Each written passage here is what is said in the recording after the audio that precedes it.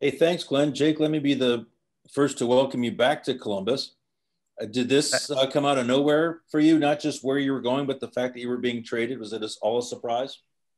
Uh, to be honest, not really. I kind of, you know, I'm pretty active on social media in terms of reading stuff, so uh, I uh, kind of knew it was going to happen. Just uh, weren't sure where or when, so I kind of stayed put. And uh, my girlfriend was uh, was telling me to just put the phone down. It's gonna happen, and on least expected times. And uh, I was fishing with my family, and uh, you know didn't have my phone on me, and I had a, about ten missed calls from Chuck Fletcher, and he told me I got traded to Columbus. So uh, she was right, and uh,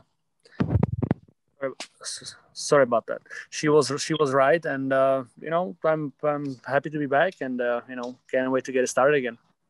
What are your thoughts on just coming back to the town that you've you've played in before? You're, I know you're familiar with it, but it's changed a lot. I think you've probably changed a lot in the time since you've been gone. It's been almost 10 years. Just your thoughts on coming back home again. Not almost 10 years. I think it's been past 10 years. It's already been 10 years. Uh, but, uh, but uh, yeah, I mean, you know, I'll be 32. I'm, I'm, uh, I'm sorry, Derek Dorsett just keep calling me right now. I don't know what, you know, I got to call him back. Uh, yeah, I mean, I'm completely different, different player. I would say I'm a different human being. I'm a father right now, and uh, you know, like obviously a lot of changes, especially in a game of hockey in ten years. So, uh, you know, like I said, I talked to Jarmo, I talked to Chuck. I'm really excited about, uh, you know, they putting me in a spot that I can have a have a even more success than I had in Philadelphia, and uh, I'm really excited about that. You're such a playmaker, Jake. That's the the maybe the the most uh, impressive part about your game. What are your thoughts? Just should it come to pass that you play on a line with Patrick Laine, who's got one of the great shots in this league? Well, everybody knows that he's a you know, I would say top five most dangerous dangerous guys in the zone uh, when it comes down to shooting the puck.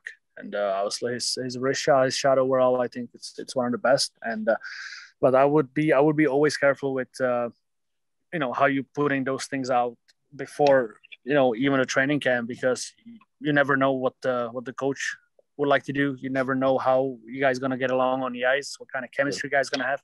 So, uh, like I said, you know, I'm gonna come to training camp, and uh, and I'm sure everything will fall into pieces, and uh, and it will go from there. So, obviously, everybody knows about Laine. is a, is a, one of the best pure shooters and scorers in a, in a, in a, in our era, and uh, and uh, if we're gonna play together, I hope we're gonna you know find a great chemistry and uh, and help the team as much as possible to to win games.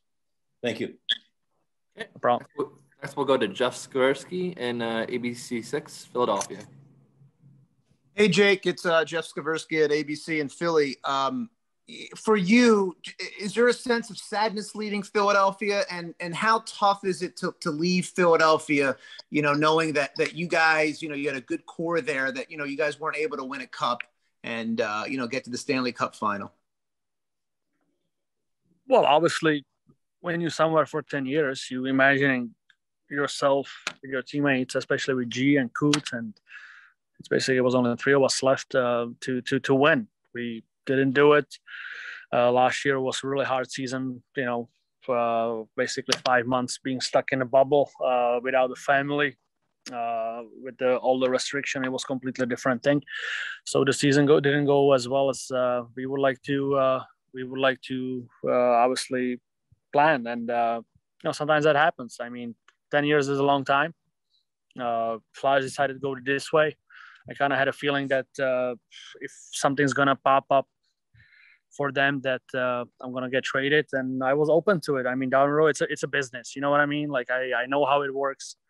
Uh, there's no hard feelings between me or Chuck Fletcher, and um, I have a lot of lot of friends and a lot of memories from Philly. And uh, you know, the my teammates knows knows the best. So uh, obviously, it's a bittersweet moment from this side of perspective, but uh, you know, something new brings everything uh, something new. So uh, I'm excited about that and um, good for me that I know a lot of people in Columbus still. You know, Derek Dorsett, Jared Boll, Rick Nash are still with the organization, which is awesome. We are really close friends, and uh, I'm really excited about uh, what's coming.